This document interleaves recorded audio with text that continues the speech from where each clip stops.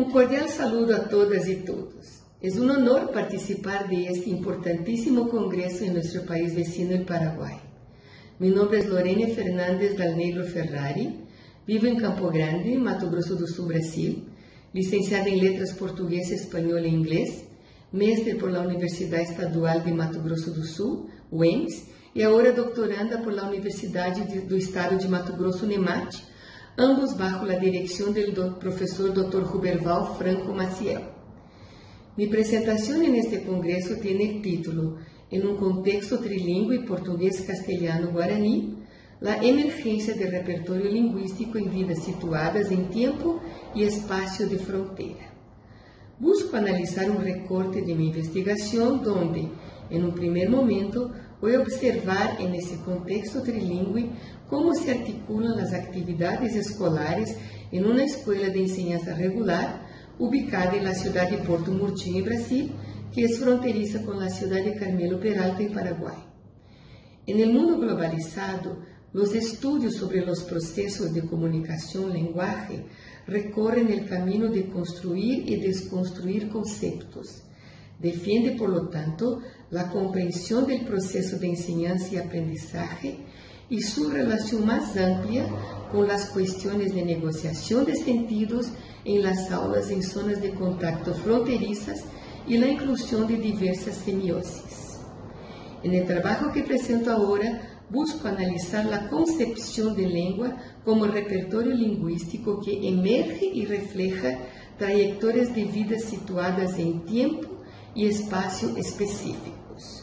Por lo tanto, la investigación bibliográfica tiene como objetivo buscar las dimensiones de configuración de repertorios comunicativos, la utilización de códigos lingüísticos, la experiencia vivida del lenguaje en una contribución sobre la conceptualización del repertorio lingüístico en el contexto de movilidad y de migración.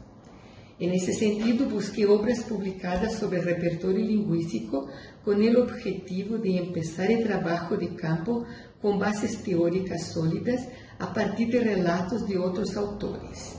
En un primer momento, los aportes teóricos que fundamentan este trabajo tienen sobre todo como eje direccional los autores Alegre Gandulfo, Brigitte Bush, Canagaraja, Macone Pennycook, Nascimento, Rocha e Maciel, Blumaert. Dessa forma, poderei apresentar a evolução dos estudos sobre repertório linguístico e experiências já publicadas. A concepção de língua como repertório busca captar a complexidade das interações comunicativas humanas reais. Repertório é um conjunto dinâmico e emergente de práticas en las cuales los recursos semióticos de que las personas disponen son empleados en sus interacciones comunicativas del día a día. Los repertorios incluyen de forma fluida y heterogénea partes de lo que tradicionalmente es identificado como lengua y variedad lingüísticas, así como formas de uso de la lengua en contextos comunicativos e esferas de vida particulares, incluyendo ideias que as pessoas têm sobre tales formas de uso, suas ideologias e lenguajes. O repertório linguístico como índice biográfico que refleja a trajetória de vida possibilita a compreensão de los flujos de mobilidade das pessoas, de seus recursos socioculturais e geográficos, problematizando e refutando o vínculo estricto entre língua e comunidade habla. Brigitte Bush, em 2012, inspirada em elementos da crítica pós-estruturalista, amplia o alcance da noção de repertório e busca colocar em primeiro plano a perspectiva do sujeito hablante, que também abarcaria a dimensão corporal, corporal da percepção, de la experiencia del sentimiento, del deseo, además de considerar la dimensión histórica y biográfica, una vez que el sujeto se constituye en y por el lenguaje. Blumaert y Horner en 2017 dijeron que como las trayectorias de vida de las personas se han dado en el mundo real, los repertorios son crónicas de las relaciones de poder que estructuran los ambientes sociales donde se dan las interacciones comunicativas. Pero hasta llegar a los conceptos que recién he presentado, hubo una evolución del concepto de repertorio lingüístico, la misma evolución que el mundo viene sufriendo como la globalización, procesos como aumento de movilidad, migración, participación en redes transnacionales de comunicación.